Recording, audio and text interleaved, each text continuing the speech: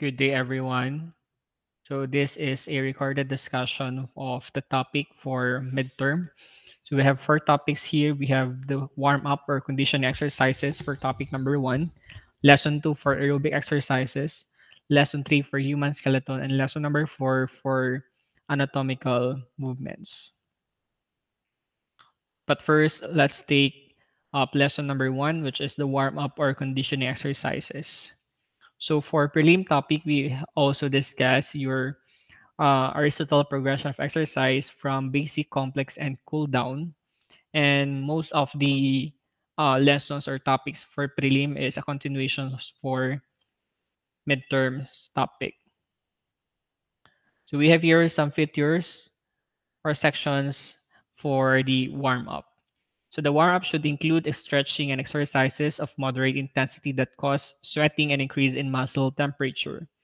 Another important practice to follow is an exercise program is to gradually start the exercise session and gradually taper off at the end.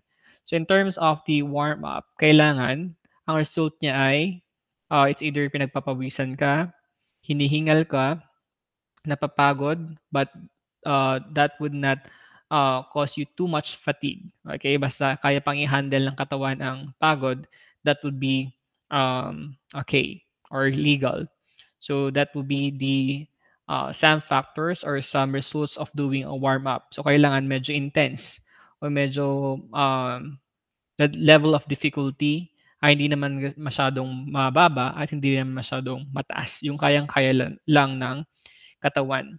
So in your uh, Aristotle progression of exercise, the most important part that we should not forget before or during a play and even for the after the play kasi ang ang major uh, function natin o yung pinaka kinukuha na dapat natin na result would be on the finals or after the play. Yun yung long term na kailangan nating gamitin. For example, in terms of the warm up, if a person or if an athlete uh, take it seriously doing her or his warm up uh, before or during the play, okay, uh, nalilesen yung part na pwedeng magkaroon ng fracture of the bones, uh, that would be the most um, uh, painful or uh, highest accident na pwedeng mangyari. And the lowest form of accident naman, ang pinaka-common is the muscle cramps ano pa, uh, go for uh, muscle tissues, yung pagkapunit niyan, kung hindi proper yung training na ginagawa. That's why the warm-up is a very important factors to be considered before and during and after the play, especially for the after the play kasi yung long run na tinatawag natin.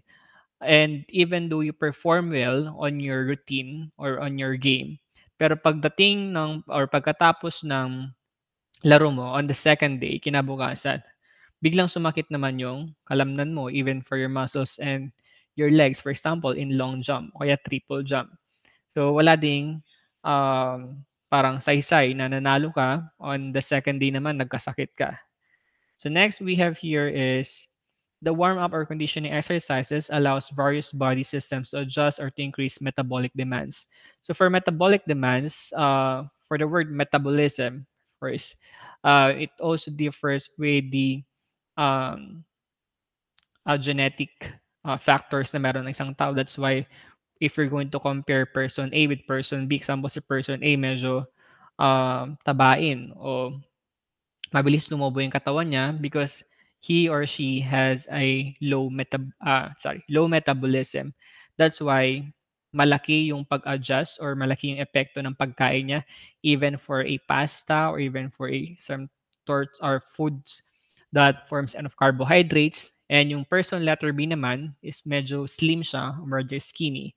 Or in other terms, medyo mataas o malakas yung process ng foods o yung high metabolism naman yung meron sa kanya. Next, in conditioning exercises, the warm-up should be appropriate for the performer and the sports activity involved. Sabi nga natin kanina, kailangan in terms of your activity, uh, that would also go in what kind of sports are you into. For example, you are in swimming. In swimming, you need also to do some sort of exercise that involves car- cardiovascular okay, the functions or uh, movements and uh, also with the proper training para mapalakas yung baga at saka yung puso because that is the uh, target uh, objectives or target goal when it comes to cardiovascular. At yun din yung kinakailangan na um, gawin mo kapag ikaw ay nagsuswimming because that would be your um, gear o kaya isang way para hindi ka masyadong mapagod at matapos mo yung isang lap kung isang lap man yung uh, event na tinutukoy mo.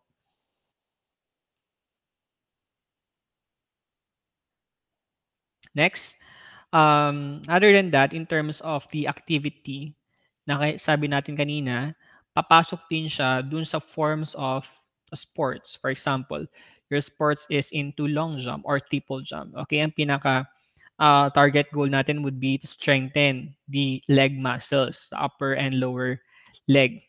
Or uh, in terms of that, you should also focus on the strengthening of the legs. So, pwedeng mga uh, leg lifting or weight lifting na may kinalaman sa leg workout. So, kailangan pasok din siya dun sa mismong activity mo. Kasi if uh, your sports is uh, into the water or sa mismong mga aquatics, mga ganun, ang sports mo, for example, you go for swimming, you go for um, diving, pero ang activities mo naman ay puro land o kaya sa lupa ginagawa, mabibigla yung katawan natin pag pumasok tayo o um, we enter into a different field areas na hindi naman natin gamay kasi nung practice natin ay ibang area naman yung ating pinag uh, practicean or in, in our preparation. That's why we also need to go into that field areas or the specific areas kung saan nagaganap yung isang laro.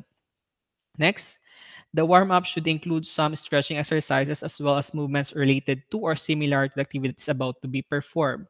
So example, sa swimming kanina, kung ang movement ng paa, it's more of the flutter kick, okay, from the left and right foot or leg.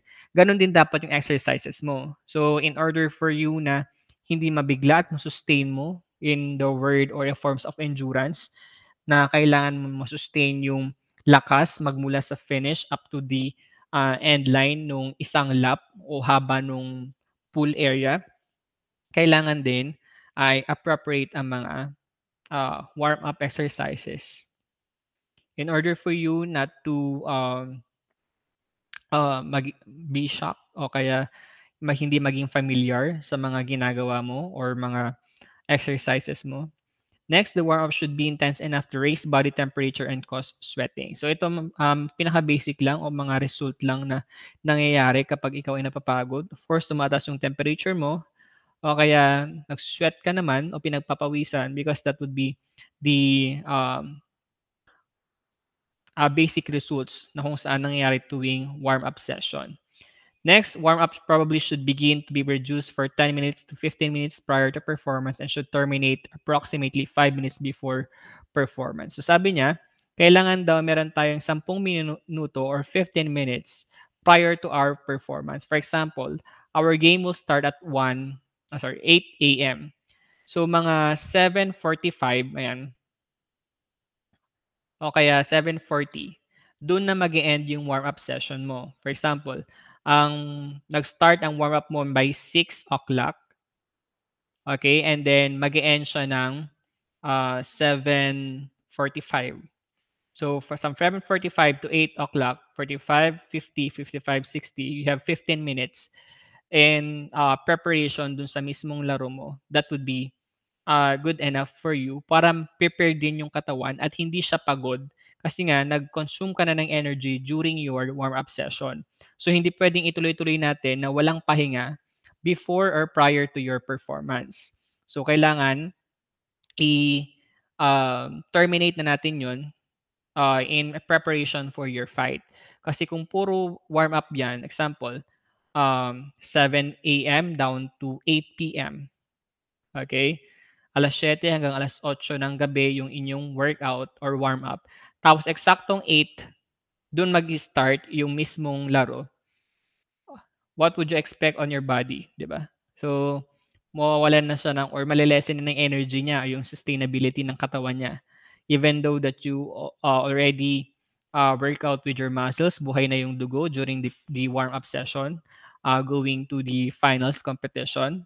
Pero malilesen na yung energy na kailangan mong gamitin all throughout your routine or all throughout your competition. So, kailangan magpahinga bago sumabak sa laro or after the warm-up. So this is the basic workout outline. We have the warm-up, stretch, aerobic strength training, cool down, and your stretch. Okay. So for warm-up, we have some activities here na pwede nyong gamitin o gawin sa bahay ninyo. This is would not uh, this area or this specific activities would not would not require you a large area to perform. That's why pwede siya kahit na in our situation nowadays na meron tayong pandemic, pwede siya sa loob ng bahay, pwede siya sa sala, sa kwarto. So number one that we have here is jog in place for 30 to 60 seconds and then rope jumping for 60 seconds. If I'm going to give you a uh, ECS and na ma-maximize or uh, napapahaba niya yung resulta o yung epekto ng aerobic exercises natin or warm-up session, you can do rope jumping. It is because in terms of rope jumping or uh, an aerobic form of exercises, konti lang yung magagamit mo ditong space. Okay? Lalo't pag maliit ka naman, hindi naman sobrang haba nung gagamitin mong rope. Even for um, the materials, ang kailangan mo lang if you don't have any rope uh, at your home, pwedeng gumamit ng extension wire na hindi ginagamit. O kaya sira. Lagyan mo lang siya ng handle on both ends, tapos meron ka ng jumping rope. So that will go for other activities or suggested activities. So next, we have here some stretching activities. You can do this at your home. Number one is your neck stretch. So do this for 5 seconds to 2 repetitions. Yung iba, they also added the uh, clockwise and, and counterclockwise rotation of the head. So yung mga ganyan, that is your clockwise and uh, counterclockwise rotation when it comes to the head. Next, we have here is your arms and shoulder stretch. So arms and shoulder stretch, um, also with the movements or uh, stretching, especially on the part ng uh, neck. Kasi ito yung medyo laging napapagod o laging naagrabyado, especially if your sport would go into a volleyball. Pag pumalo kang ganyan, ang laging masakit would be sa part ng neck mo, papunta dito sa part ng biceps. So, go here for the arms and shoulder stretch. Do this for at least 15 to 30 seconds each arm. So, by bending, okay, straight mo lang yung arms mo sideward, and then you should hold your uh, siko, then bend mo lang siyang sideward. So, that will go for arms and shoulder stretch. Next, we have here is your triceps and shoulder stretch. So triceps and shoulder stretch, you can do this for at least 15 to 30 seconds. So talikod ka lang ganyan. And then, ang una mong i-bend either left or right. Pwede rin naman. Wala naman tayong um, um, pagkakaiba na um, effect on your arms if you are uh, into your right or even for your left hand. Depende na siguro kung inuuna mo ang dominant hand mo, which is right or left. So, pasok mo lang siya dito sa uh, likod and then hold this one sa part ng elbow that you go for 30 seconds. So, same with the left arm. Hawakan mo lang sa part ng siko, then uh, we go for 15 to 30 seconds on the left side. Next, we have here is number four, the side stretch. So this for at least 10 seconds and 3 repetitions kasi masyado namang um, uh, madali ang stretch activities natin kaya ginawang tatlo. So extend mo lang both of your arms, magkatabi, and then bend mo lang siya sideward. Yung ibang tawag dito ay lateral flexion kasi palabas. Okay? The word lateral is same with the with, uh, with the uh, term labas. Okay, so this will go for the side bend. Next, the shoulder stretch for at least 10 to 30 seconds. So based on the picture, you should stretch your right arm and then hold mo lang dito sa part ng um, shoulder mo. And then that will go for the arms and shoulder stretch. That will go for 10 to 30 seconds. Next, we have here is a quadricep stretch. So for quadriceps, kailangan, ang mas maganda pa nga yung uh, heel ng paa is medyo close or closer with your butt o sa part ng puwet. Kailangan fully stretch yung part ng quadriceps uh, muscle. Ang quadricep muscles ay nasa part ng hita, nasa thigh. Okay, nasa pinakaharap.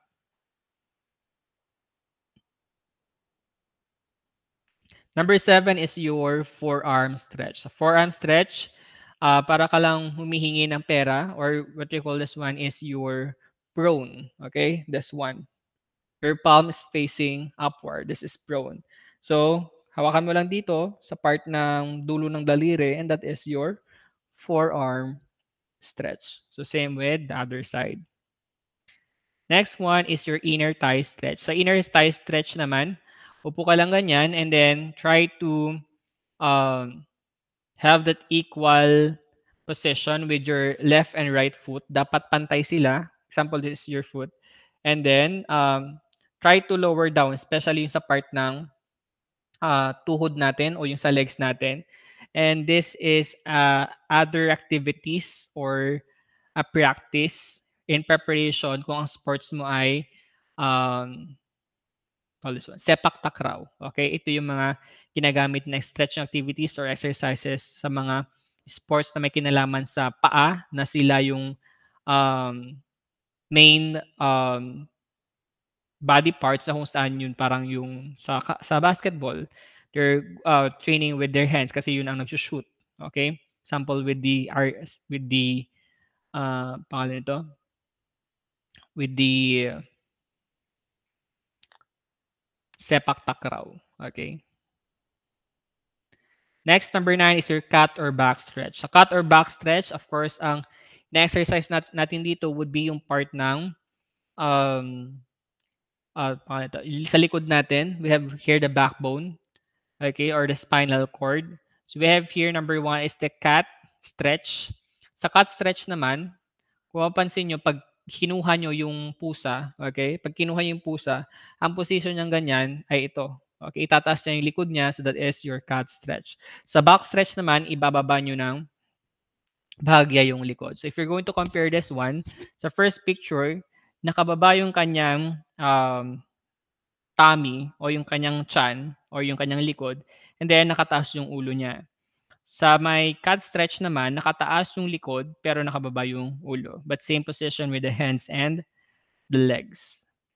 Number 10 is your hamstring stretch. Hamstring stretch naman, ito hindi madalas nagagawa ng ibang tao kasi nga hindi fully um, de- hindi naman siya develop. Parang hindi naman siya fully na exercise o nagagamit yung part ng hamstring. Ang hamstring kasi ay nandito sa part ng lower leg. So in order for you to do the hamstring stretch, okay, kailangan yung isang leg naka-flip siya paloob, malapit dun sa singit. And then, example, left, uh, left leg ito. Left leg yung kanyang inunat on uh, stretch niya sideways or sideward. And then, uh, one of her arms, so left leg, hawak ka ng left arm, yung mismong toes o daliri ng paa. And then, kailangan hindi tumaas ito. Kasi minsan, pag tinatry natin uh, iabutin yung part ng toes natin na stretch or extended leg, tumataas sa part ng ng quadriceps natin. So, nangyayari, dito sa part ng tuhod, umaangat yan o tumataas. Pero dapat iwasan yun. Next, the regular stretching program can help lengthen your muscles and restore youthful activity. Number one, to relax your mind and tune up your body. Number two, to preserve range of motion. Number two, three, to maintain flexibility. And number four, to prevent injury during exercises. Remember, your warm-up should be taken seriously. Kasi nga, kung ayaw natin magkaroon ng mas malalang um, abnormalities or mas malalang uh, aksidente na pwedeng mangyari sa katawan natin, during the play or after the play, kailangan um, maganda at applicable lahat ng warm-up session na or activities na ginagawa natin. Next, to prepare the muscles for more vigorous activities, especially for uh, mga uh, sports na kung saan nire-require na kailangan mas malaki yung playing area and number two is mas malaki o mas mahaba yung playing time. Pag sinabing mas malaki yung playing area, for example, basketball, ganyan. Compared with table tennis na ang liit lang ng playing area. Ano pa? Football, ayan.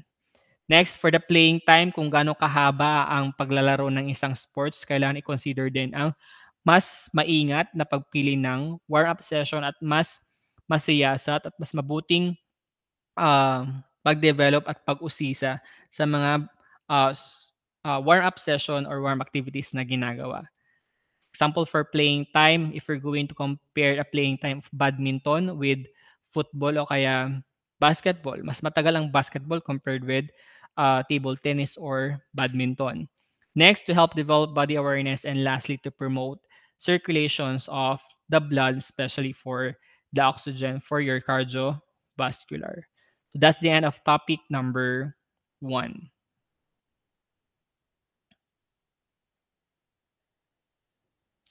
Now we go with topic number two, which is aerobic exercises. Okay, your aerobic exercises is on topic uh, number two for midterm. That's why your midterm performance task is to create a routine or pwedeng kumuha sa YouTube, make it an inspiration to uh, use in terms of their video na pang Zumba or aerobic exercise. So this is an activity that uses large muscles groups and can be maintained continuously and it's rhythmic in nature. Kaya papasok yung word na rhythmic or rhythm is that the rhythm is very important kasi nga, siya yung mag-guide sa'yo, okay? Uh, it will serve as a guide in order for you kung kailan ka papasok, kailan ka lalabas sa isang sayaw. That's why kailangan natin ng mga uh, ng musical accompaniment for us to know kung ilang figures ba ang pwede natin gamitin o kunin sa 1 minute routine para mabuo ng example 3 minutes routine o kaya 5 minutes routine. Doon din papasok ang mga signals or guide niyo. For example, if you're watching street dance street dance competition na kung saan uh, example, papasok yung first batch, puro babae. And then papasok sa likod o pupunta sa likod, papalit ng costume and then while are they are changing changing their costume, meron nang papasok na isang uh, grupo ng lalaki naman na kung saan they're using a pala o kaya meron silang mga hawak na palay. So that is the importance of having a rhythm or having a musical background. It's either instrumental man yan or lyrical kapag ikaw ay sumasayaw. Kasi nga, nas nakakadagdag pa yan ng, ng ganda ng visual appearance ng isang sayaw kapag may music. And this is a type of exercise that overloads the heart and lungs and causes them to work harder than at rest. Remember, in terms of any aerobic exercise or aerobic activity, ang pinaka goal talaga natin dito is to fully stretch the maximum capacity ng ating puso at saka ng ating lungs. Kasi those are the two main organs that we're going to consider in terms of in terms of aerobic exercise. Kailangan malakas both of the heart and lungs para ma-sustain niya kung gaano kabigat ka-intense at kahirap yung mismong activity or exercises na ginagawa.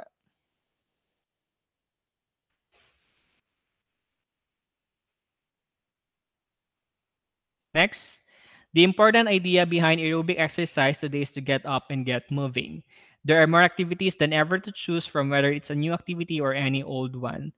Sa aerobic exercise natin or aerobic activity, that would not only focus on the uh, sayaw, kaya iba minsan 'pag sinasabihan sila o may narinig sila, "O bukas mag-aerobic dance tayo."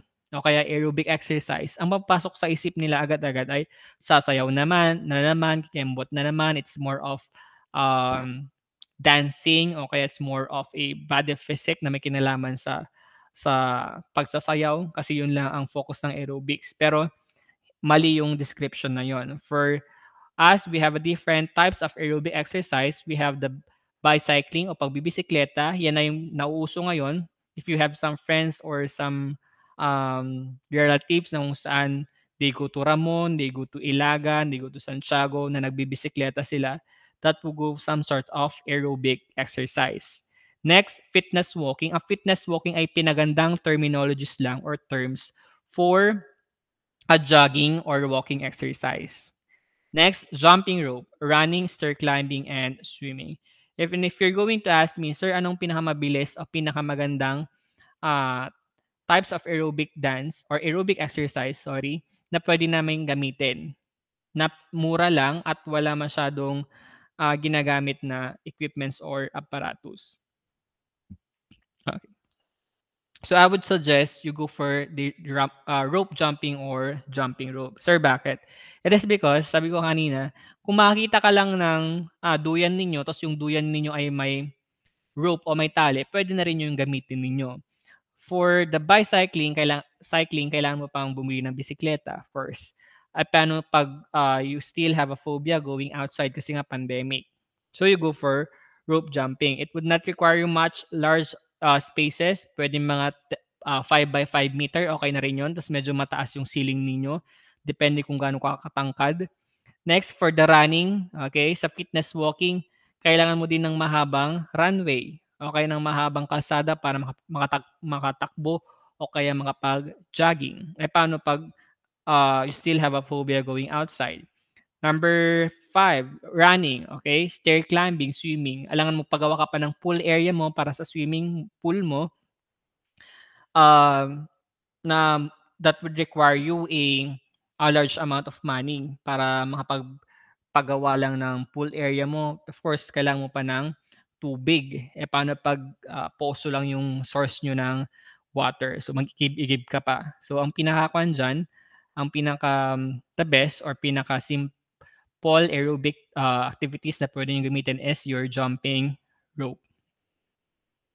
Next, we have here is your benefits of aerobics. Number one, increasing maximal oxygen consumption, of course, kasi yun ang major point uh, target natin, yung sa heart and sa lungs. Improvement in cardiovascular, increased blood supplies to muscles, and ability to use oxygen. So, in terms of the circulation ng blood, kailangan din may circulation ng oxygen. That's why in some type of person na nagkakaroon ng vertigo o kaya nawawala ng malay o kaya nahihilo, hindi lahat ay patungkol sa dugo. Sa dugo. There are some sorts of uh, uh, researches or some sort of studies na yung flow din ng oxygen ay kailangan or same with the uh, smooth transition or smooth uh, circulation ng dugo natin parehas lang din dapat sa oxygen. And uh, your oxygen or your blood contains also an oxygen. Next, lowering high rate and blood pressure at any level of submaxial exercises. If you still have or kung meron kayong mga uh, blood pressure monitoring equipments, yung mga automatic na, yung hindi na uh, stethoscope ba yun ang tawag natin doon. So, nalaka, nakalagay doon, meron tayong um, systolic, diastolic, ganyan dun sa taas niya, SIS, SYS, tapos DIAS. Tapos nakalagay din din yung beats per minute natin kung gaano ka uh, bilis yung pagtibok ng puso natin in one, one minute. So, kahit na hindi mo alam gumamit ng uh, stethoscope natin, pwede tayong gumamit ng pwede tayong gumamit ng um, automatic na blood pressure monitoring. X. Uh, increasing in HDL cholesterol, the good cholesterols. If uh, in the HDL cholesterol, present yan sa lahat ng protein na uh, meat products natin, pero mas healthy siya sa mga isda at saka sa um, call this one, sa beef. Okay? Depende na lang kung gaano ka um, tawag din, gaano kalaki yung kinakain mo o gaano karami yung kinakain mo kasi we have a different um, body physique naman. Yung iba medyo tabain, yung iba naman hindi masyadong kita ang pagtaba sa katawan kahit na sobrang dami ng kinakain because they have the fast metabolism. Next that we have here is the elements of exercise program. Ang elements of exercise program is that they uh, show us kung paano ba dapat ang proseso o tamang proseso ng isang ehersisyo or exercise program para masabi siya na epektibo at nakikita mo yung resulta niya after mong mag-exercise. For example, you go for a week o kaya two weeks of exercise and you uh, still don't notice kung anong pagbabago yung mga nangyari sa katawan mo, after that 2 weeks of, uh, having an exercise kasi nga baka mali yung mga ginagawa mong ehersisyo. So number 1, how frequent should the individual exercise? 'Pag sinabing frequency, kung gaano kadalas ka nag-exercise sa isang linggo. So ang recommended natin is 3 to 5 days per week.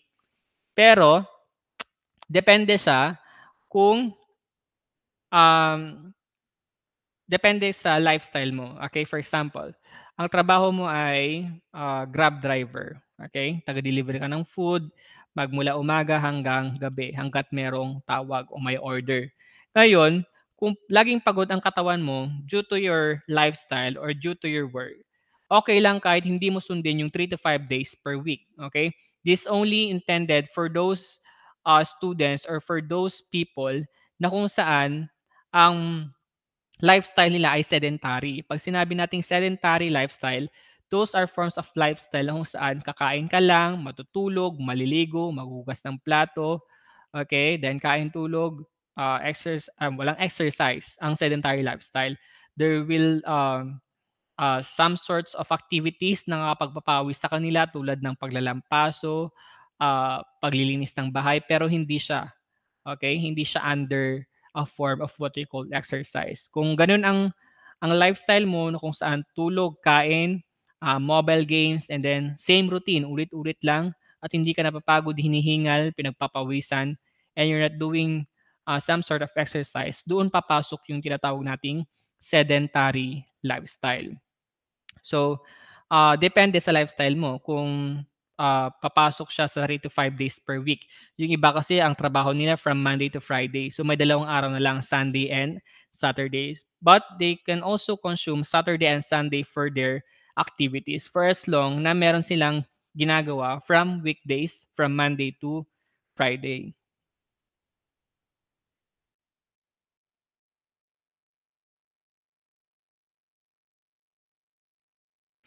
Next that we have here is your intensity. Sa intensity naman, kung gaano katindi o kung gaano kahirap yung ginagawa mong ehersisyo sa isang araw. Kasi kahit na you, you're going to exercise for five times a week or uh, seven times a week, okay, araw-araw ko nag-exercise.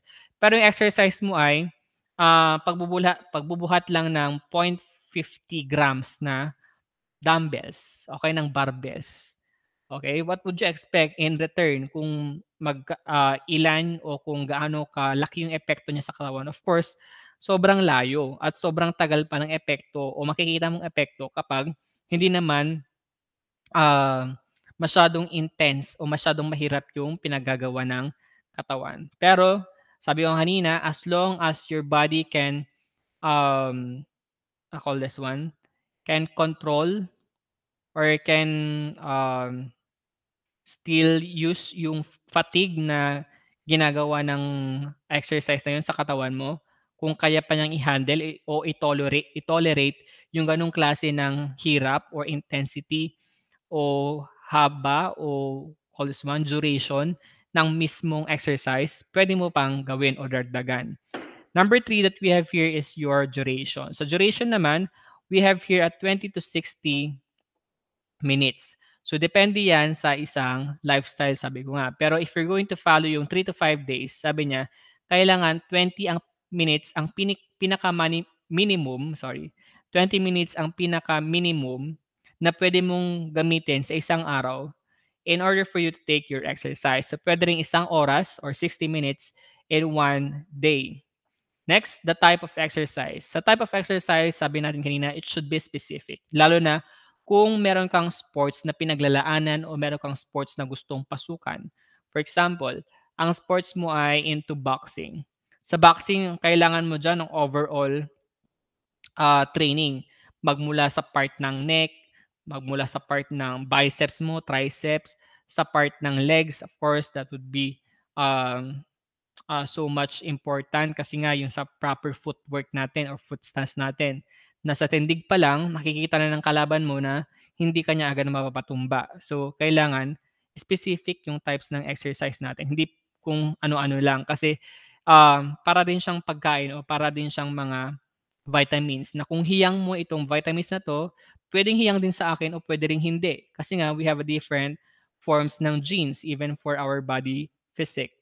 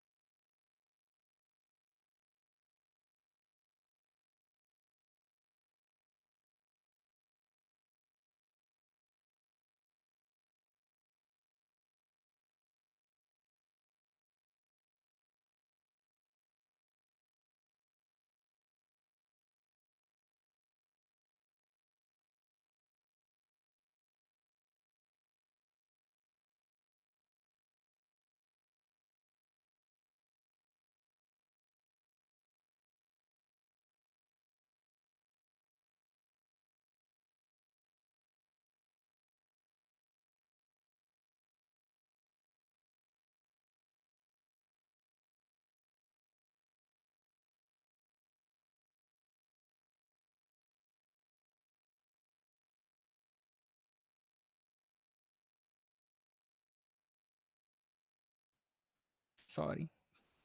Wala pala akong microphone. Wait lang. So, balik tayo.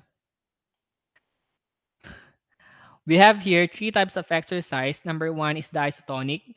Number two is isometric. And number three is aerobic exercise. And there's three types of exercises para mabilis tayo. Sa aerobic exercise, ang focus natin would be the heart and the lungs. Okay? Sa heart and lungs natin ang pinagtutuunan ng pansin para ma-fully stretch o ma-increase yung maximum capacity niya o yung um, trabaho niya pagdating sa isang sports. Remember, yan yung pinaka-target natin. We're talking about aerobic exercises. Mapalakas yung function at yung capacity ng puso at saka ng baga.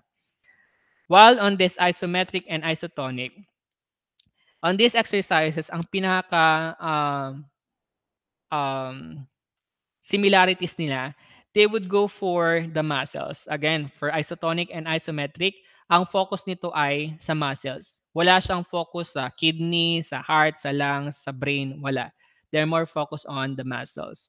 For isometric naman, okay, we'll talking about the difference. Sa, sa pagkakaiba na tayo.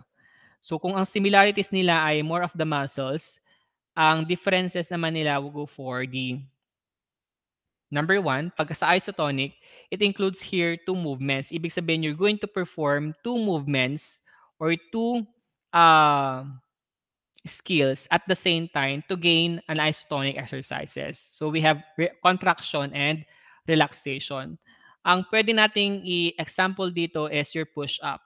So the push-up, kapag nakataas pa lang yan o hindi ka pa bumababa, that is what they call your relaxation kasi naka uh, planking ka pa lang, okay, from diagonal position. After that, pagbabaan mo ng kamay mo, okay, yung mukha mo lumalapit na sa floor area at nag-flex na yung part ng biceps mo e, even for the forearm, that is what they call the contraction. So, ang contraction ay nangyayari sa part ng muscles, ng, sorry, ng bicep muscles mo o kaya ng upper arm. So, that is your contraction and relaxation. It includes two movements which is contraction and relaxation which is um, the isotonic exercises main function.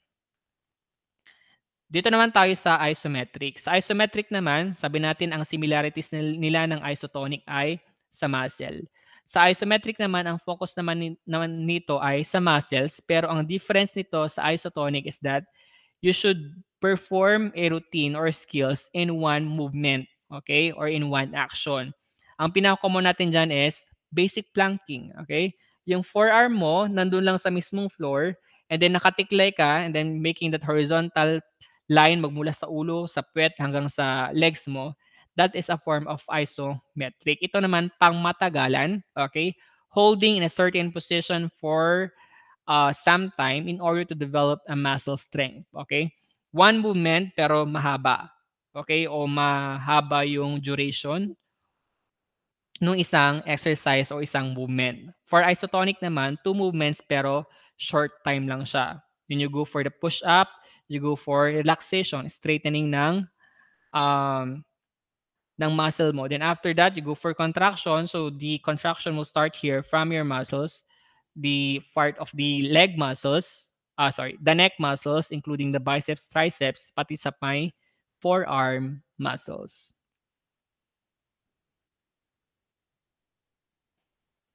Okay. In terms of the principles of exercise, same features or same um, nature ang dinidiscuss nito sa part ng elements of exercise. Itong natapos nating frequency, intensity, duration, and types of exercise. On this area of your principles of exercise,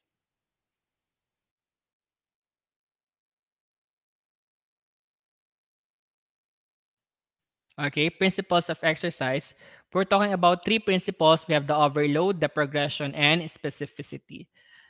Okay, so overload naman, okay, para naka-general form siya or general type na kung saan nakapaloob ang overload sa elements ng exercise, which is frequency, kung gaano ka madalas mag-exercise sa isang linggo, intensity, kung gaano kahirap ang isang exercise, duration, kung gaano katagal sa isang session ginagawa ang exercise, And lastly would be the types of exercise or what we call your specificity. Sa progression naman, sabi ko kanina, as long as your body can tolerate the pain, your your the fatigue na na nadudulot ng exercise mo o ng activity mo na yon, as long as kaya pa niyang uh, makapaglakad, hindi ka naman nababaldado, hindi ka naman nawawala ng malay kapag naglalakad ka after you take your exercise, um, you should uh, exert more or you can add uh, at least 5 or 10 repetitions for each movements or each skills, pwede pa. Okay? Pero kung hindi na kaya, kung ang borderline mo na lang ay 50 na push-up in a day, at pag nag-55 kang ganyan, pag tayo mo, nahihilo ka na o kaya nababaliktad ka na sa upuan mo, kailangan mong i-lessen yun. Gawin mong 45 o kaya 40 for as long as your body can tolerate yung pain, yung fatigue, at saka yung um, uh, call this one, yung pagod Okay, yung sobrang pagod na naidudulot nung mismong um, exercise na yun sa katawan mo. Importante, kailangan alagaan ng katawan. Pero kung ang exercise naman ang nakapagdudulot ng sakit sa katawan, kailangan itigil. Okay? Number three is your specificity. Sa specificity, exercises must be specific in its concern. Sabi ko kanina, kung ang gusto mong i-develop sa katawan mo ay more of the leg strength. Okay? you go for a leg workout. Kung gusto mo naman, uh, medyo ma... Tawag doon?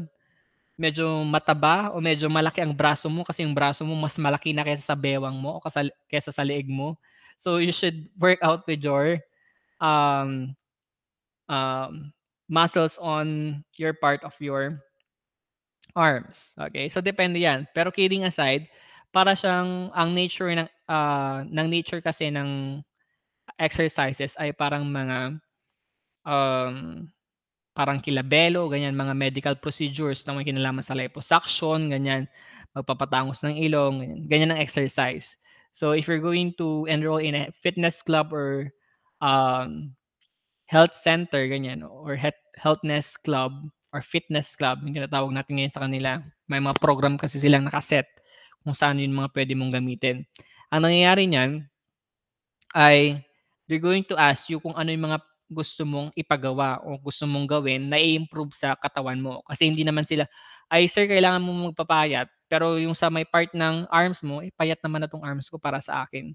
So, ang magdetermine yan ay ikaw, kung ano yung gusto mong ipabago at gawin sa sarili mo in order to achieve yung gusto mong uh, makuhang waistline, kung gaano ga, ba gustong um, kanipis ang braso mo, kung gaano mo gustong kakapalan yung part ng sa biceps mo, sa triceps mo, even for uh, other types of um, modification or changes na pwedeng baguhin sa katawan ng tao. Okay, guidelines in exercising. Number one, there is no one best form of exercise. It depends on what the individual wants to achieve. Of course, sabi ko kanina, kung ang ang pinaka goal mo is to um, i-slim mo yung part ng arms mo, you go for the push-up, okay? Kung gusto mo magkaroon ng bato-bato sa abdominal muscle o sa part ng um, chan mo, okay? Mga abs-abs, mga ganyan. Kailangan yun yung workout mo. Next, individuals or individuals should choose exercises which he or she likes and enjoys. Of course. Kasi kung hindi mo gusto ang ginagawa mo, it would take you frustration at pag na-frustrate ka, hindi mo na itutuloy yung nasimulan mo. Useless. If even though if you had already purchased o bumili ka ng ng isang treadmill na ganyan, okay? Yung tinatakbuhan na machine or equipments, tapos hindi mo pala gusto talaga ng ganong forms of exercise, tatambak din yan yung treadmill na yan, hindi rin magagamit. Next, exercise 30 to 60 minutes regularly 3 to 5 times a week. Pero sabi ko kanina, it depends on your lifestyle. Next, wear light, comfortable clothes and shoes. Of course, wala namang kinakitang nag-jogging dyan na naka-tuxedo at saka naka-ball gown. Next, exercise either in the morning or late afternoon well, when it's not so hot. So, mapansin nyo ngayon, yung mga nag-exercise sa atin o sa mga um, community ninyo, na mas gusto nilang mag-exercise tuwing hapon kasi nga yun yung uwian nila. Example, ang pasok nila is 7 a.m. Tapos alas 6 pa ang gising nila. So mag-travel pa sila uh, before they can go into their work by 7 a.m. So, naghahabol sila ng oras. So, wala nang time mag-exercise. That's why sineset nila yung kanilang exercise or activities during afternoon, mga 5 to 7 p.m., ganyan. So, med- dun din, medyo maganda rin kasi nga, medyo malamig na yung hangin tuwing hapon. Next, if the individual is a beginner, a grad graduated exercise program starting with light exercises and gradually increasing and intensity should be followed. Sabi natin kanina, if you are into uh, an exercise, you should take first yung pinaka-basic. Okay? Huwag kang pupunta agad sa sa middle, okay? Okay sa complex agad-agad kasi hindi mo naman alam kung proper ba yung ginagawa mo. Kaya basic ka muna. Hindi mo rin alam na uh, gawin na kung tama ba yung execution mo ng skills o kaya bigla mong uh, pinerform ang activity or exercises doon sa mga pro or elite na mga uh, players or elite na mga um, nag-exercises tulad sa Zumba o kaya ng aerobics exercises. Hindi pwede. Number seven, severe exercises must be avoided unless the individual is young and athletic. For as long as nakaya mo pa, sabi ko nga kanina, ulit-ulitin natin, um, kaya pang i-tolerate ng katawan yung pain, pwede pang mag mag-add ng isang set o kaya ng isang um, repetition o isang set sa isang exercises. Pero kung hindi na kaya at medyo pumapalya na yung kasukasuhan mo, medyo sumasakit na yung kalamnan, kalamnan mo, you should eliminate or decrease your exercise, the repetition or the set. Next expression, no pain, no gain, has been discredited by experts on fitness. In fact, no one should work up to the point of pain or exhaustion except as part of individ- uh, except as part of diagnostic medical test. So, hindi nila pinapayo na yung word na no pain, no gain. Kasi pag meron ng fatigue or extreme fatigue, okay, or too much fatigue na nangyari sa katawan ng tao, we we're going to consider fact, two factors. Number number one is that mali yung uh, execution or yung pagka uh, mo dun sa mismong um, routine or skills. For example, you're doing push-up. Eh, babae ka. Ang push-up ng babae, kailangan nakatuhod siya. Hindi siya pwedeng naka, parang planking o yung toes mismo yung naka uh, directly touching the uh, surface of the floor. Kailangan nakatuhod. So, mali. Hindi proper yung execution mo. Number two factors that we're going to consider is that mali yung exercise na yun para sa'yo. I mean, that exercise doesn't suit on your um, um, dun sa idea mo na gusto mong magpa-sexy ng katawan o kaya gusto mong magpanipis ng katawan. I mean, for that exercise, hindi siya bagay. Example, ang gusto mong gawin ay magpanipis ng ng arm kasi medyo malaki. Pero ang wini-workout mo naman ay mga leg. Okay? Leg workout tulad ng you go for running, you go for jumping, mga ganyan. That will go for a leg workout. So ibig sabihin hindi na niya nata-target yung gusto mong goal or yung gusto mong ma-achieve sa mismong katawan mo which is pagpapanipis ng arms. So wala ding epekto. Okay. For this one, aerobic dance for health and fitness, pakibasa na lang to. There are more of some explanation kung ano mga pwede pang gawin o gamitin. Then we have here Kenneth Cooper. So Kenneth Cooper is the father of aerobics. Okay? So, tinawag siyang father of aerobics. It is because he's uh, submit some research or do some research or studies that would help a student or would help a person to do a uh, better ways to do some exercises na ka- kahit wala kang um, gamit o wala kang specific materials na na-utilize o ginagamit mo. Kahit hindi siya de baterya, kahit hindi siya de saksak sa kuryente, kahit hindi siya uh, mahal okay, sa pagbili mo ng isang equipments as long as that forms of exercise okay, target, yung pinaka-objectives or goal mo, sabi ko kanina, yung sa jumping rope, di ba? Nakakita ka lang ng extension wire na sira o kaya hindi mo ginagamit, tapos nilagyan mo ng handle and both ends, that will serve as your rope jumping or jumping rope. And rope jumping is a form of aerobic exercise. So, hindi mo na kailangang lumabas pa ng bahay, hindi mo na kailangang bumili pa ng pagkamahal-mahal ng mga gamit kasi meron ka ng ginagamit na form of aerobic exercise. So these are the uh, some benefits of your aerobic exercise. Number one, promotes strong and healthy bones. It helps controls life physical and emotional stress. And number three, improves intellectual capacity and increase one's productivity. Next, aids in natural way of losing weight and keeping it off, provides significant protection from heart diseases, and promotes better and more effective sleep. So that's the end of topic number two for midterm, which is your aerobic exercise. Now we go with topic number three for your human skeleton.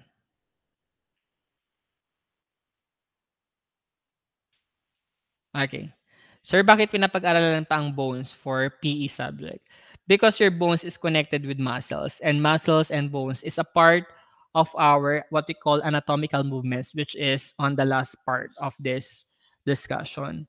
The anatomical movements simply used in terms of the biomechanics, okay? The biomechanics is the study of the movements especially when you're going to perform a specific um, movements pagdating sa sports. For example, sa table tennis, okay? Yung table tennis, the proper way is that the movement from your uh, upper arm and forearm should be good enough para pag palo mo ng ping pong ball, ay maganda yung pasok niya papunta sa kabilang banda.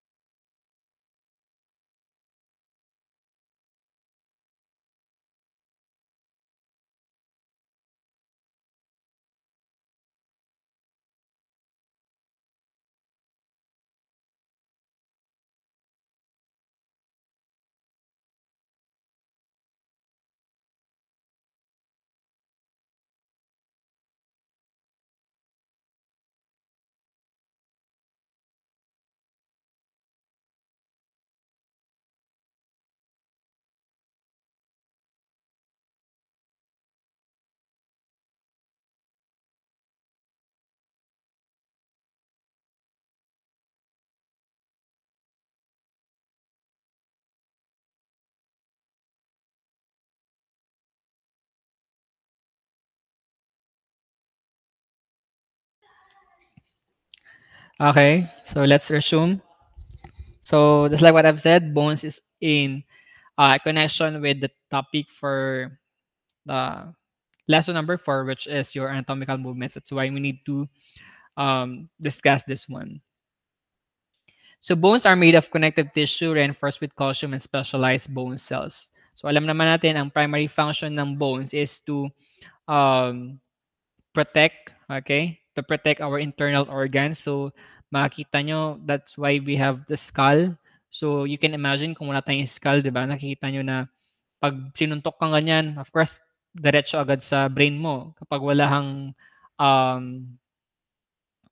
ng ribs. Kung wala kang ribs or protection of the lungs, pag sinuntok ka, papasok agad sa baga mo. O papasok agad sa mismong um, puso yung suntok. So walang magpoprotekta sa main organ. So that is the primary function of the bones is to protect your internal organs. Other than that, of course, your skeletal muscle or bones is serve as a framework, okay? Or serve as a frame ng katawan. So you can uh, imagine na kung wala tayong frame o wala tayong buto, magmula ulo hanggang paa, para tayong mga ahas na um, ang tawag doon, um, umaakit sa puno, pumapasok sa school. So that would go some sorts of uh, advantage for human na meron tayong complete or structural bone magmula sa ulo hanggang sa paa. Next, the body is constantly remodeling the skeleton by building up new bone tissue and breaking down old bone tissue as required. Healthy bones need a balanced diet, regular weight-bearing exercises, and right le- levels of various hormones. Yung mga simpleng pagbubuhat lang ng timba na may tubig, okay, tapos i- mag- mag-iigib ka from dun sa mismong poso ninyo o sa gripo, ilalagay mo siya sa banyo. That is also uh, another helpful activities na pwede nyong gamitin or gawin kapag uh, you are uh, very much tawag dito, concerned with the bones. Especially pag medyo uh, wala kang ginagawang ganyan o pagbubuhat. Tapos pag pinagbuhat kang ganyan, parang sumasakit o nagkakalas-kalas lahat ng buto mo. So you, that will go some sorts of activities or exercises na pwede mong gamitin o gawin sa bahay ninyo. So we have here the bones provide a structure for our bodies the adult human skeleton is made of 206 bones, including the bones of the skull, the spine, the ribs, the arms, and the legs. Bones are made of connective tissue reinforced with calcium and specialized bone cells, and most bones also contain bone marrow where blood cells are made. So that also be another uh, function of with our bones, okay? Tumutulong siya sa pag um, develop ng mas marami pang dugo na may kinalaman sa RBC and the WBC, the red blood cells and white blood cells na meron sa uh, circulation ng katawan natin. Next, bones work with muscles and joints to hold our body together and support freedom of movements. Okay? So, ang connection uh, ng muscle ay sa buto. This is called the musculoskeletal system. And the skeleton supports and shapes the body, protects delicate internal organs such as the brain, the heart, and the lungs. So, in order for us to uh, go to work, go to school na wala tayong pangamba na kahit mauntog tayo, okay? Kahit na uh, may sumuntok sa atin sa part ng chest natin, hindi agad tatamaan ang internal organ because we have our bones. And this one, tapos na to, weight bearing exercises, na ulit lang. Okay. So the human skeleton is made of 206 bones, including the bones of the skull, okay, including the jaw bone. So sa jaw, jaw bone, we have two parts of the the uh, jaw. We have the upper jaw and the lower jaw. So later on, I'll show you some pictures kung bakit siya magkahiwalay. The spine, we have the cervical, thoracic, lumbar, sacrum, tailbone, and what we call the coccyx or cocci. Chest, the ribs, and the breastbone called the sternum, and then the arms, the shoulder blade, the scapula, collarbone, humerus, radius, and ulna. Okay. For a newborn baby, they have 300 bones present in their body. Kaya lang, pag tumatanda ang tao, meron tayong tinatawag na fusion. Okay? Sabi dyan, as the child grows, some of the cartilage hardens and turns to bone, and some bones fuse together. So, nagdudugtong-dugtong. Kaya pag, uh, pansin nyo, pag may bagong sanggol, o kaya bagong mga pamangkin kayo, o kaya mga kapatid ninyo, ganyan, bagong, bagong panganak, inaalagaan yung part ng head. Okay? Kasi hindi pa fully developed ang skull.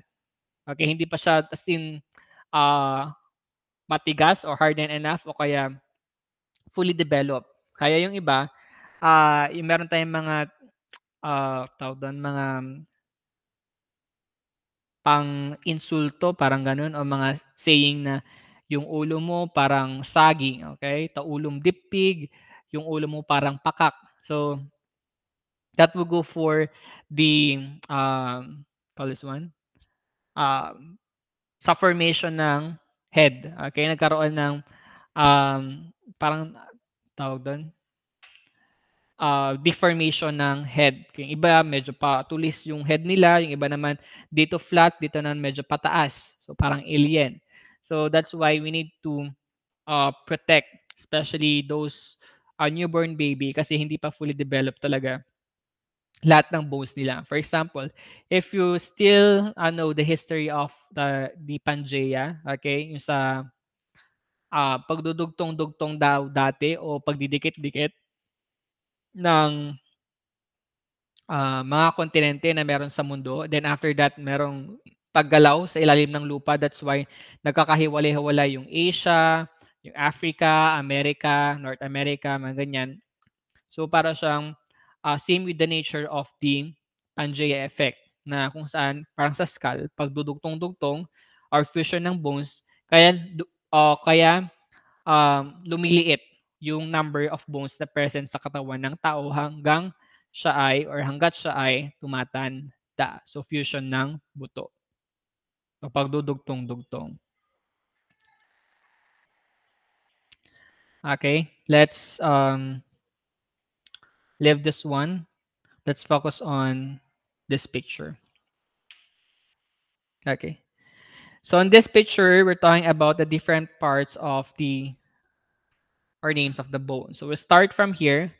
This is the frontal bone. Ang frontal bone natin ay sa part ng noo. Clear lang natin yung picture. Mm, this one.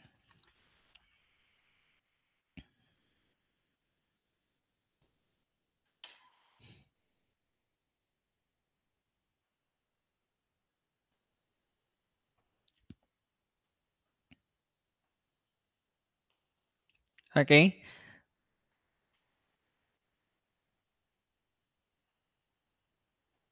This one.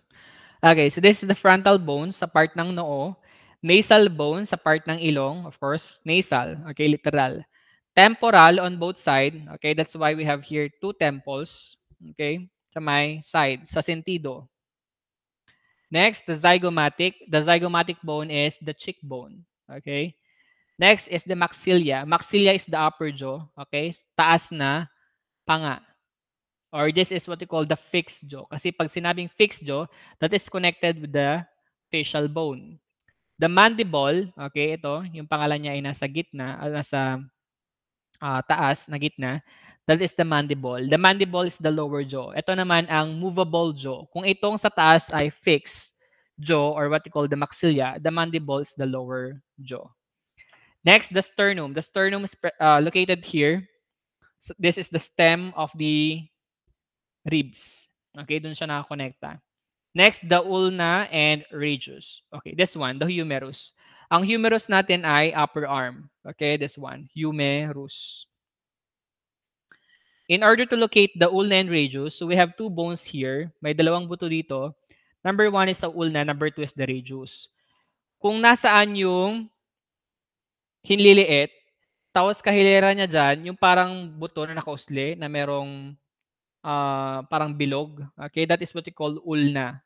Okay? Kung nasa naman yung ating thumb, nandito yung radius. So magkadikit lang yan o magkasama. Litin natin. Kung nasa ng pinky finger o yung hinliliit, tapos kahilera niya yung parang bilog na nakausling buto, that is ulna. Sa kabila naman, kung nasaan yung thumb, that is what they call the radius. Okay, so we have two bones here sa forearm. Dito naman, isa sa upper arm. And that is what we call humerus. Ayan o. Oh. Humerus, upper arm. Okay, itong pinakataas. Pero dito sa baba, dalawa ang buto dito, which is your ulna and the radius. Okay, next. Sa ilium pubis and ischium, we will not go deeper with this um, part of the bones kasi nasa pinakaloob-loob na nasa singit na, okay? And uh, we can afford to dissect uh, person para ipakita sa inyo kasi sobrang mahal. So for hip bone, of course, nandun siya sa may likod. So magmula dito, sa part ng puwet ninyo, okay, or sa part ng uh, singit ninyo, napansin nyo dyan, yung parang pababa, o V-cut na tinatawag natin. That's why if you saw some athletes na meron silang cut, okay, dito, papunta sa ab- abdominal muscle nila, hanggang dito sa likod, that is what we call the hip bone. Okay, so para siyang shell na naka-embrace doon sa part ng likod. Next, we have here is your uh, the foot. This one is what we call tarsus or tarsal. Again, we will not go deeper with calcaneus, talus, lateral, or cuneiform bone kasi nga nasa loob-loob na yan. Basta ang tawag natin dito ay tarsus or tarsal. Example, this is my foot. Ang tarsus or tarsal, this is the ankle. Okay? Example pa lang ito ah, this is the tarsus or tarsal. Ito naman, magmula dito hanggang dito, yung likod ng paa, pati yung talampakan ng paa, ang tawag doon ay metatarsal. Tapos, yung daliri ng paa, ang tawag doon ay phalanges of the toes. Ulitin natin. Example, paa ito. On this area, ang tawag dito ay ankle or tarsus or tarsal. Dito naman, magmula dito hanggang dito, yung likod ng paa, okay, pati yung talampakan nyo, that is what we call meta tarsal. Ang daliri ng paa, ang tawag doon ay phalanges of the toes. Okay. Yung part ng proximal, middle, and distal, we cannot um, fully show you kung nasaan yung part ng proximal, middle, at distal. Kasi nga, maliliit lang yung buto sa uh, parte ng daliri ng paa. Pero sa kamay, mamaya papakita ko kung uh, nasaan yun. Kasi sa part ng kamay, medyo mas malalaki. So, we're done with the mandible. The mandible is the lower jaw. So, on the uh, spinal cord naman, dito sa spinal cord, ang tandaan nyo lang, 7, 12, 5. 7 cervical, 12 thoracic, ayun no, and then 5 lumbar. Surpassan yung 7, 12, 5. Ibig sabihin, sa cervical, 7 siya kasi itong piraso ng buto ang nagpapatong-patong to make that seven cervical. Mapapansin nyo sa mga um, uh, call this one, sa mga advertisement na may kinalaman sa buto o kaya sa anlin, mga ganyan. Meron silang building blocks sa ganyan. 1, 2, 3, 4, 5, 6, 7. Okay? That is 7 bones for cervical. After pitong bones sa cervical, mula, mula dito sa may papunta sa batok, meron tayong 12 thoracic. So 12 naman siya na ganito, patong-patong. And then the last one is lumbar. Sa lumbar, limang ganito. 1, 2, 3, 4, 5. Basta pitong cervical. After 7, we go for 12 na thoracic. Patong-patong ulit. And then sa pinakababa, lumbar, 5. Kaya mapapansin nyo dito, ayan o, oh, um, first lumbar. So this is the first lumbar. Okay? First lumbar, second lumbar, third lumbar, fourth lumbar, and fifth lumbar. Kaya yun yung um, way natin para mas madali nating matutunan ang 7-12-5. 7 cervical, patong-patong, 12 thoracic, and then 5 lumbar sa baba. Okay? Pero after the lumbar, meron pa tayong tinatawag na sacrum. Yung sacrum para siyang fixed base, okay? Para siyang nakaganito na nakahawak sa lumbar, sa thoracic at saka sa cervical. So para siyang vase, siya yung nag-handle para hindi mahulog o hindi ma um call this one matumba yung mismong spinal cord natin. And that is what we call your this one, the sacrum. Ang coccyx naman or cocci, ito naman yung ating tailbone. Okay? Mapansin niyo yan, pwede nyong kapain sa part ng puwet, yung paganon. Okay? That is your tailbone. Sa atin, if you're going to compare that one, para siyang um, buntot ng pusa o kaya ng aso, pero sa kanila kasi muscle yon. Okay, at saka nakalabas ng mismong katawan nila. Sa atin, nasa loob at hindi siya muscle, kundi isang buto. Okay, nasa part lang siya ng uh, pagitan ng puwet natin. Next we have here is the femur. The femur is what we call the longest bone. Siyang pinakamahabang bunto kahit na pandak ka, yan yung pinakamahabang mong buto. But this is what we call also your thigh bone. The patella, yung sa part ng tuhod or what we call the kneecap. And then sa baba, sa lower leg natin, meron din tayong dalawang buto. Parehas lang sila ng kamay na kanina sabi natin, dito, this, this, this is the humerus or what we call the upper arm, isang buto. Pero pagdating dito, after ng siko, meron na tayong dalawang buto which is what we call the ulna and radius. Parehas lang din sa may paa. Isang buto, the upper leg, the lower leg, dalawang buto. The tibia and the fibula. The uh, tibia is what we call the shin bone. Pag sinabing shin bone, yan yung nakakapan ninyo sa harap ng paa nyo. Yan yung masakit kapag uh, natuhod kayo ng uh, ng upuan o kaya ng pangalan to, ng kama ninyo o kaya natuhod kayo ng mismong uh, mesa. Yan yung masakit kapag nauuntog yung part ng shin bone or what call the tibia. The fibula naman, yan yung mas manipis na buto. So parang nakasupport ang fibula kay tibia para hindi sila uh, doon, matumba o hindi sila ma-dislocate. Next, on the tarsus, talus, and calcaneus, nasa part na yan ng heel. Okay? Pag nakatalikod ka, yan yung part ng bukong-bukong in Tagalog na term natin. Next, the parietal. Okay? Para makita nyo yung uh, difference, we go for the uh, front and back position. So this is the frontal. Ang parietal, katapat lang niya, so nasa likod. Okay? Ang occipital naman, mapansin nyo, Okay, use your index finger o yung hituturo ninyo. Meron yung, mer um, call this one, parang nako sling buto na parang bilog. Same with the ulna. Okay, yung nakakapan nyo dito, that is the ulna. Pero pagdating sa ulo, that is what we call the occipital bone. Okay, temporal, tapos na yan on both side. Cervical, vert, uh, vertebra, tapos na rin. Ulna and radius. And then, For the ilium, pubis, and ischium, wala tayong problema dyan. O hindi natin papag-aralan kasi nga nasa loob yan. Basta importante, alam mo kung nasaan ang hip bone mo. Okay, this one for the carpal. Okay. Kung sa paa kanina, ang tawag natin dito, dito ay tarsal or tarsus o yung ankle ng paa. Ito naman ay metatarsals, yung likod at saka talampakan ng paa at saka phalanges of the toes sa paa. Sa kamay naman, ang tawag natin dito ay carpal. Carpal is the wrist. Okay? Wrist bone. Ito naman, metacarpal ang tawag natin. Letter C naman tayo ngayon instead of letter T. Okay?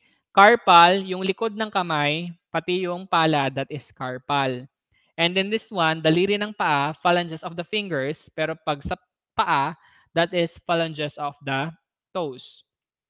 So dito, makikita na natin yung difference ng kung saan nakapwesto ang proximal, middle, at distal. Pag proximal, okay, this one is the base. Ibig sabihin yan yung mas malapit sa palad. Okay, this is the proximal. Ang middle natin, of course, literal, middle, gitna. And then the last one is what you call your distal. Pag sinabing distal, yung pinaka malayo. Okay? Proximal, the base, middle, gitna, distal, dulo. Okay, so that's the um, human skeleton. So that's the end of topic number three for finals, or sorry, for midterm, which is your bones.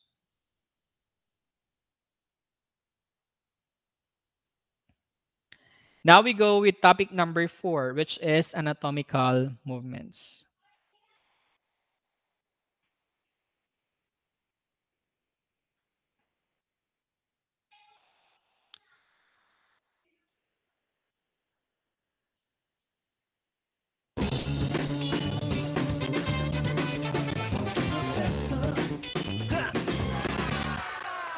The human body is rarely static. and its component parts, especially in the limbs, are dynamic entities. Anatomical language, therefore, has a special set of terms to denote direction of movement of the various body parts. In the upper limb, flexion denotes a forward movement of the whole limb or any part of the limb. Conversely, backward movement of the limb or any part of the limb is referred to as extension.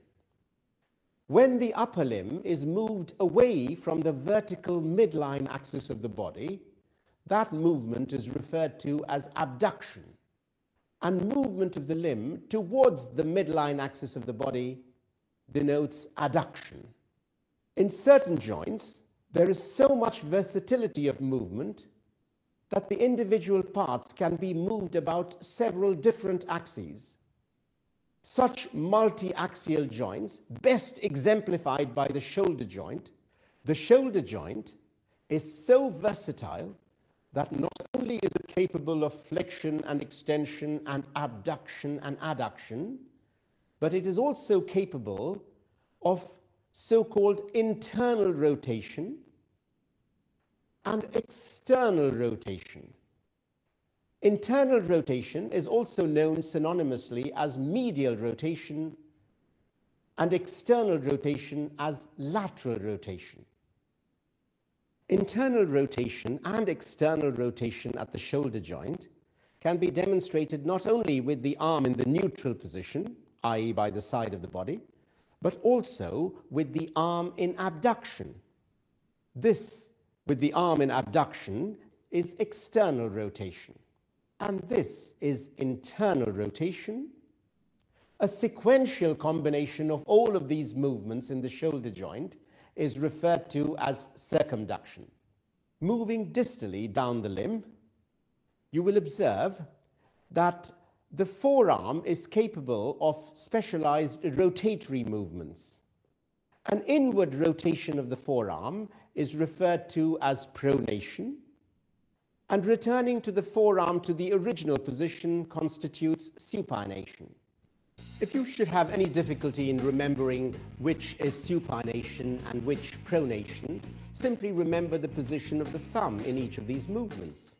In supination, thumbs up, S for super. And in pronation, thumbs down, P for pants. Easy. Moving further down the limb, at the wrist joint, the movements possible are a forward movement of the wrist joint, which is flexion, a backward movement of the wrist joint, which is extension, and in addition to flexion and extension, the wrist joint can also be deviated laterally, which is called lateral or radial deviation or abduction, or it can be moved in, which is ulnar deviation or adduction.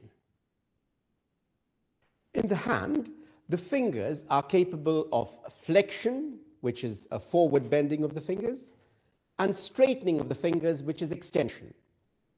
In addition to flexion and extension, it is also possible to move the fingers apart. This constitutes abduction of the fingers. An abduction of the fingers always relates to the long axis of the metacarpal bone of the middle finger.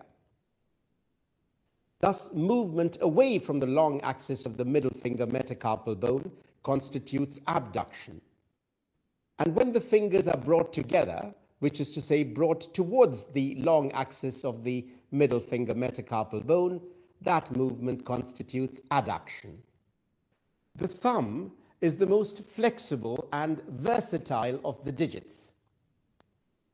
It's capable of flexion, extension, abduction, adduction, and also a rotatory movement whereby the pulp of the thumb can be made to face the pulps of the other fingers. And this inward rotatory movement of the thumb is referred to as opposition. The movements at the hip joint are flexion, reflected in the forward movement of the thigh, extension reflected in the backward movement of the thigh, abduction when the thigh is moved outward away from the median axis of the body, and adduction of the hip joint reflected in the inward movement of the thigh. In addition to these four basic movements, the hip joint is also capable of internal rotation and external rotation. And either of these movements at the hip joint can be accomplished either with the limb straight or with the knee flexed. A sequential combination of all of these movements at the hip joint constitutes circumduction of the hip. Moving further down the limb, the knee joint is a modified hinge joint. And the principal movements at the knee joint are flexion and extension. Now here, extension of the knee joint is manifest as a forward movement of the leg. And this apparent contradiction is explained by the rotation of the lower limb that happens during embryological development. So that the back of the leg is in fact the flexor surface of the leg, and the front of the leg, the extensor surface of the leg. Contrast this with the upper limb. Now, moving further down the lower limb, we come to the ankle joint, which is a uniaxial or hinge joint. The movements possible at the ankle joint are extension and flexion. Extension at the ankle joint, which is manifest as an upward movement of the foot, is also referred to as dorsiflexion. And flexion of the ankle joint, manifest as a downward movement of the foot, is referred to as plantar flexion. Moving further along, various small joints in the foot allow specialized movements of the foot. An inward rotation of the foot, whereby the medial border of the foot is elevated relative to the lateral border of the foot, is referred to as inversion of the foot. And the opposite movement, wherein the lateral border of the foot is elevated relative to the medial border of the foot constitutes eversion. And finally, the toes are capable of flexion and extension. And to a considerable extent, although not as impressively as in the hand, the toes are also capable of abduction and adduction. However, in the foot, abduction and adduction of the toes is related to the long axis of the metatarsal of the second toe.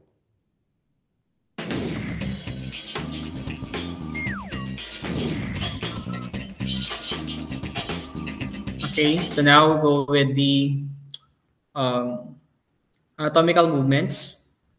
So more of this, just like a repetition of the video that you have been watched. So number one is the angle between two bones. So for the flexion, example with your arms, okay, go here, the word flexion, okay? So the movement from the forearm going to the upper arm, so decreasing the angle. So from this angle, so parang sa mathematics, from obtuse down to right angle hanggang acute angle, so decreasing the angle, that's what we call a flexion of the arms. You can also use the flexion in terms of your legs. Number two is extension. So, kabaliktaran siya ng flexion, which is straightening of the joints or bones. From this position, you're going to straighten up this one. Okay? So, the angle between the two bones increase. So, from this acute angle, okay, the words of, or in the uh, terminologies in mathematics, for acute angles, going to right angles, okay, babalik siya sa straight line niya, or a straight angle, that is what we call extension. That's why kapag bumili ka ng extension, kailangan mahaba kasi nga extension siya. Next we have here is number three and number four for adduction and abduction. When I say abduction with the letter B, okay, it's number four, moving a body part away from the midline of the body. Ibig sabihin, this is the midline of the body. So when we say abduct, papalabas. So ang movement ng kamay natin ay pwedeng ganito. Abduct. Moving away from the midline kasi naka-dikit siya sa midline natin which is on this area. So pag ang movement is abduction, it's moving away. Pwede rin naman sa part ng daliri ng kamay. So this is the midline, yung nasa gitna na uh, fingers natin. So when you see abduction, moving away from the midline, so open siya. This is abduct. Pag adduction with double D, which mean magpa-plus or mag-add kasi moving towards, pupasok sila sa gitna o magdidikit ulit. Ulit natin. Pag abduction, open or moving away kasi lalabas sila. Pag adduction, which means to add, towards, papasok sila. Okay, abduct, open, adduct, close. Next, we have here, hyperflexion. We have a pictures here for hyperextension and hyperflexion. Basta, lahat ng hyper, it's more of the extending beyond range of motion. For example, The hyperflexion is flexing beyond ROM. ROM stands for range of motion. So pag hyperflexion, upo ka lang ganyan, pero kailangan yung heel ng paa ang inuupuan ng mismong puwet, and that is what I call hyperflexion. And how about for hyperextension? Mag-extend ka lang. Okay? So kailangan mong tumayo, pero dapat nakalak yung part ng knee. Okay? So parang nakapalikod. So yung um, movement natin, we're doing the hyperextension is that medyo nakausli yung puwet natin palabas, tapos naka-breast out tayo para magkaroon ng hyperflexion, sorry, hyperextension with the legs. Na kung saan, pag naglakad ka, para siyang walang buto o wala siyang tuhod kasi nga nakalock yung part ng knee. Other examples here for the abduction and adduction. Wait lang, balik tayo. Okay? Abduction, sabi dyan, moving away from the midline, so papalabas. So nakita niyo yung arrow, this is abduction, papalabas. Pag adduction, towards the midline, papasok naman siya. So that is abduction and adduction. Next, we go with number 7 and 8. Number 7 should be pronation. Okay, mali lang yung spelling pero kailangan uh, pero ang totoong spelling niyan is P R O pronation. Pag pronation naman, ganito siya. Okay, your palm is facing downward. Ibig sabihin, parang nakahiga o nakadapa. Pag supination, your palm is facing upward. Okay, so this is nakahiga. Ulitin natin. Pag pronation, this is number 7. Wrong spelling lang. Dagdagan nyo ng letter R. It should be P-R-O-N-A-T-I-O-N.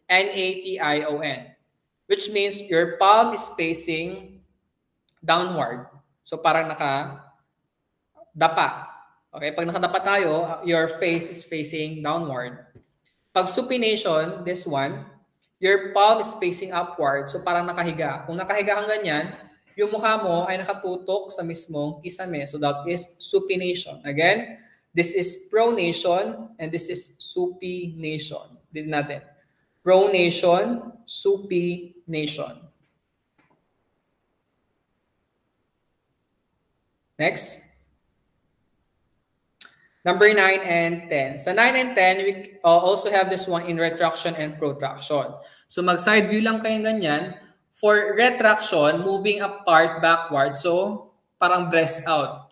So nangyayari sa part ng shoulder natin, nag-move siya backward and our chest is moving forward. So this is retraction. Kabalik talang, kabaliktaran niya is protraction. So moving apart of your body. So yung shoulder natin is pupunta sa harap. So yung movement ng likod natin ay magpapa-atras o parang kuba ang definition ng ating protraction. Ulitin natin. Pag retraction, moving backward, so parang naka breast out. Pag protraction naman, ganito, parang kuba. Next, elevation and depression. Madali lang yan. Pag elevation, taas mo lang. Depression, bababa. Next. Okay, this one. So pronation, ayan, PRO dapat ah. Wrong spelling lang tayo doon. Pronation naka This one. Palm is facing downward. Supination, palm is facing upward. Yan, retraction, naka-breast out siya. Protraction, naka-kuba. Next. Yan, elevation, taas mo lang, part ng shoulder, depression, baba. Rotation. Ang rotation natin, single axis. Pag sinabing single axis, for example, rotation of the head. Okay, this is rotation. Pag circumduction naman, triplanar, ibig sabihin tatlo. That's why kanina, ang ang focus nyo kanina ay magmula sa ulo, kamay, at saka sa hips. So, ang movement natin doon ay parang ganito. Kung nakakita na kayo ng mga bagong open na mga establishment, ito ay tinatawag na human balloon or inflatable balloon. Na mag-start sa hips ang movement. So, ganyan. Pati kamay, tapos ulo.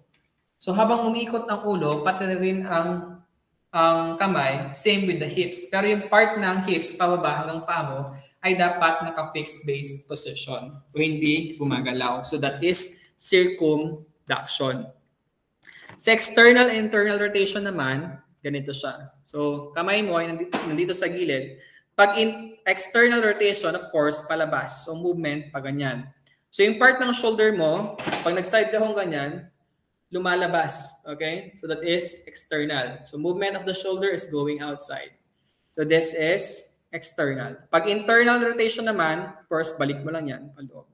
External, internal.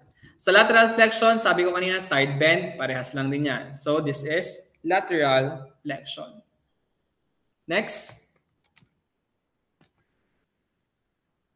Okay, so pwede rin tayo sa part ng hips. Pag internal rotation, ang movement natin ay paloob. Pag external, palabas. Same with the shoulder. Internal, pag ganito, kasi naka-internal ka na, open na. Pag external naman, okay, wait lang. Ito pala. Pag internal, ito, external, labas. Internal, external. Pag sa paa, sample ito, this is internal, this is external.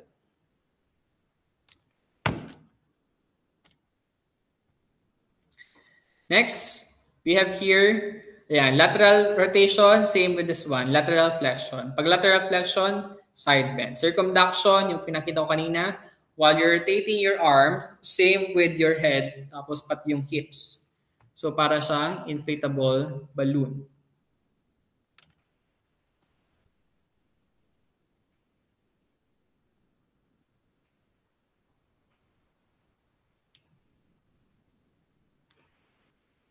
Next, on number 18 and 19, inversion and eversion. Eversion. Pag inversion naman, turning the sole of the foot inward. So, example, ito yung paa mo. Pag inversion, turning of the sole of the foot inward. So, ganyan. Example pa ito ah. Inversion, ganyan ang opening. Pag eversion, ang open ay sa labas. Ulitin natin. Pag inversion, open would be for the inward part of your foot. Example pa ito. So, opening ay paloob. This is inversion. Pag palabas naman, eversion, ganyan. Okay? With your foot ito ah, pwede rin sa kamay. Next example ko lang. Next, number 20 and 21 for dorsal and plantar flexion. For dorsal flexion, that is towards the shin. So, papunta sa part ng shin bone o sa part ng uh, lower leg. Pag plantar flexion naman, naka point or downward. Example, this one. For the dorsal and plantar flexion. Okay, pag dorsal, naka-heel, ibig sabihin yung heel ng paang nasa floor. Pero pag plantar flexion naman, ito ay naka-toes o nakatiklay. Okay, ito, inversion. Inversion ng opening natin, parang sa pao kanina, example natin ay paloob. This one. Pag eversion, sa labas ang opening. Next. We also have here number 21, sorry, yeah, 22. Radial deviation and ulnar deviation. Ito naman, basta alam mo kung nasa ng ulna at radial, magawa mo to. So, pag ganyan, kung nasaan ang pinky finger o yung hililiit, nandun ang ulna. Kung nasan ang thumb, nandun ang radius. So pag ulnar deviation, okay? So ang ulna ay nasa labas, so i-stretch natin siya so paloob. So this is ulnar deviation. And then pagpalabas, this is radial deviation. Read natin. Ulnar paloob, radial palabas. And then the last one is opposition of the thumb. Pag opposition of the thumb, because your fingers is the uh, most structured in terms of the movements, pag, pag anatomical movements, ang tawag natin dito ay opposition of thumbs. Ibig sabihin, natatouch niya lahat ng fingers na kasama niya. Okay, that is opposition of the thumb.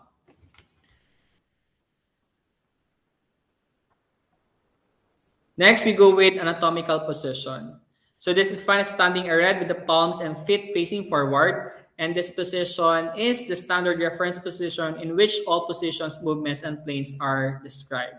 So ito ay ginagamit o ginagawa as terms of your anatomical positions para mas makita naman yung mga buto na present sa katawan ng tao. So this is what we call anatomical position. Ibig sabihin, harap ka lang sa sa audience o kaya sa salamin, tapos yung palm mo, okay, yung palad mo is facing forward, pero nasa gilid.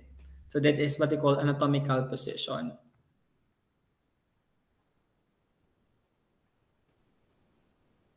Okay, so this is your anatomical planes. Ang anatomical planes naman, ito ang ang nagbibigay ng daan o nagbibigay ng uh, structure kung paano pwedeng hati-hatiin ang katawan ng tao kung napapanood nyo yung mga videos or clips from um, so o kaya wrong turn, ganito yung kanilang paghati sa katawan ng tao. Number one is the sagittal or mid-sagittal planes.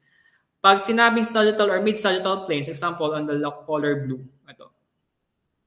Ang hati ng katawan ay magmula dito sa ulo hanggang sa part ng ari ng tao. So meron tayong left and right part pagdating sa sagittal. Pag hinati mong ganyan o biniyak mo sa part ng ulo, may kanan at may kaliwa. So sagittal or mid-sagittal planes is divided in two sections from the right and left position. This one. Number two is the frontal or coronal planes. This divide the body into front and back. Sa frontal and coronal planes naman, ito sa kulay pula, ang pag-divide uh, natin o pag-dissect sa katawan ng tao, paghati sa katawan ng tao ay dito sa gilid.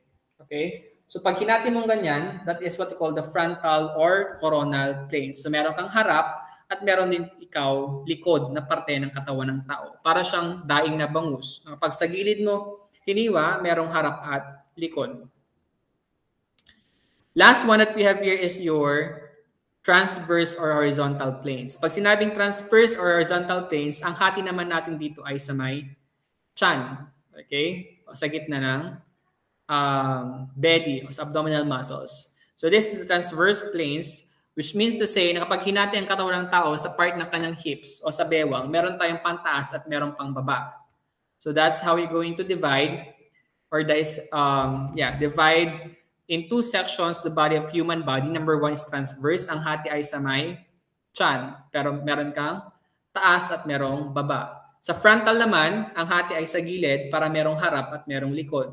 Sa sagittal plane, ang hati ay sa gitna para may left and right portions ka ng katawan ng tao. Okay, let's go with the directions.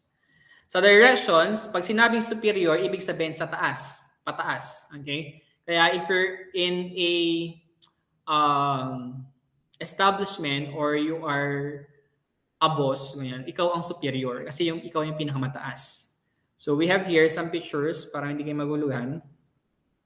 Okay. Superior refers to the above.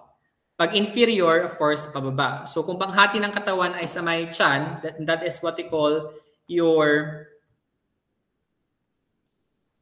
transverse planes. Ito, ang superior natin ay pataas, bewang papuntang ulo. Inferior, bewang papuntang talampakan. Okay, pababa. Superior, pataas. Inferior, pababa. Anterior naman is sa harap. Okay? Sa harap. In front of the other structure.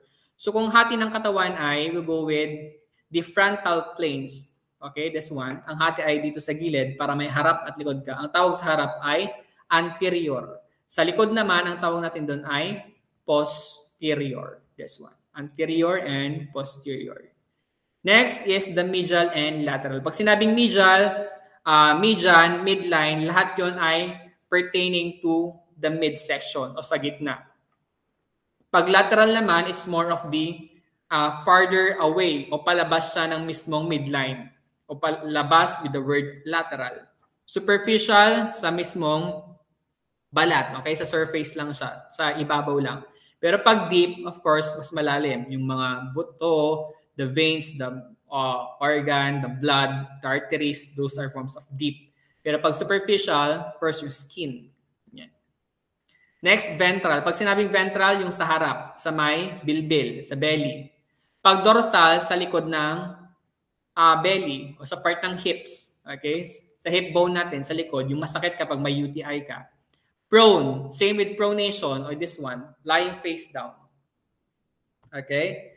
On the supination o supine, lying face up. Pares lang yon ng definition ng prone supine with pronation and supination. Unilateral, of course, with one side. Kapag nag-drawing ka ng bahay, tapos may puno sa kabila, sa right side, that is unilateral. Pero pag nag-drawing ka ng bahay, tapos may dalawang um, bulaklak o may dalawang puno on both sides, that is what we call bilateral. And that's the end of midterms lesson. If you have any questions with your uh, recorded dis discussion for this uh, file, you may uh, have an option to chat me on our GC regarding your concern. So that's the end of your midterms lesson.